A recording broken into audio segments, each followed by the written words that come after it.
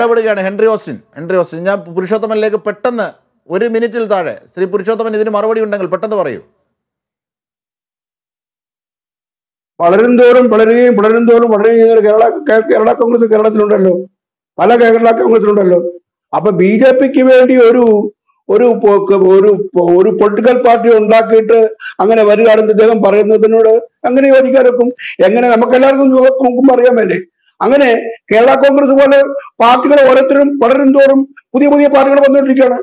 അങ്ങനെ ഒരു പാർട്ടിയാണ് പിളരും തോറും ശ്രീ- വളരുകയും ശ്രീ വളരും തോറും എച്ച് ഹാഫീസ് ശ്രീ എച്ച് ഹാഫിസ് അതായത് വളരും തോറും പിളരുകയും പിളരും തോറും വളരുകയും ചെയ്യുന്നു. അതിലൊരു ഭാഗം ബി ജെ പിക്ക് ഇരിക്കട്ടെ. ആധുനിക കാലം അങ്ങനെ എത്തിയല്ലോ. അതിലെന്താ കുഴപ്പം?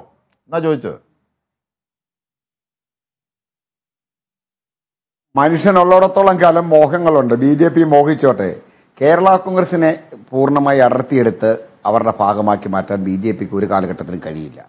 ഇതുപോലെ പിടർന്നു പോകുന്ന അല്ലെങ്കിൽ അടർന്നു വീഴുന്ന അല്ലികളെ അല്ലെങ്കിൽ എൻട്രി ഓസ്റ്റിന്റെ ഭാഷയിൽ പറഞ്ഞാൽ ആർക്കും വേണ്ടാത്ത ചവിട്ടി അരയ്ക്കപ്പെട്ട ഇത്തരം പുഷ്പങ്ങൾ. അവരൊക്കെ നല്ല പുഷ്പങ്ങളായിരുന്നു ഒരു കാലഘട്ടത്തിൽ അല്ലെന്ന് പറയുന്നില്ല.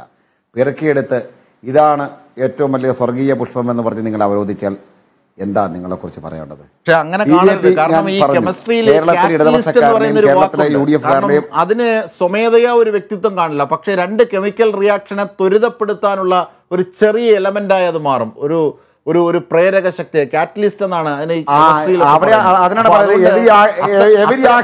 പൊളിറ്റിക്കൽ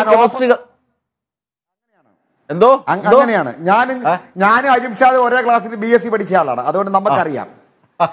എവരി ആക്ഷൻ കാസാന എവരി ആൻഡ് അല്ല അത് അത് ഫിസിക്സ് അത് ഫിസിക്സ് ആണ്. അത് അത് നമ്മൾ രണ്ടുപേരും കോപ്പി അടിക്കാത്തതുകൊണ്ട് നമ്മൾ പറഞ്ഞത് കെമിസ്ട്രിയാണ് ശരി എന്തായിരുന്നാലും നമ്മൾ ഒരേ ക്ലാസ്സിലല്ല പഠിച്ചതെന്ന് ബോധ്യമായി.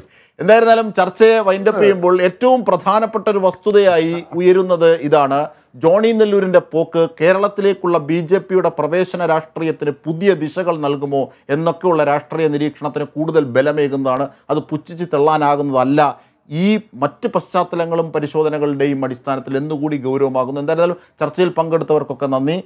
കെ വി ഡിബേറ്റ്സ് ഇവിടെ പൂർണമാകുന്നു. നമസ്കാരം.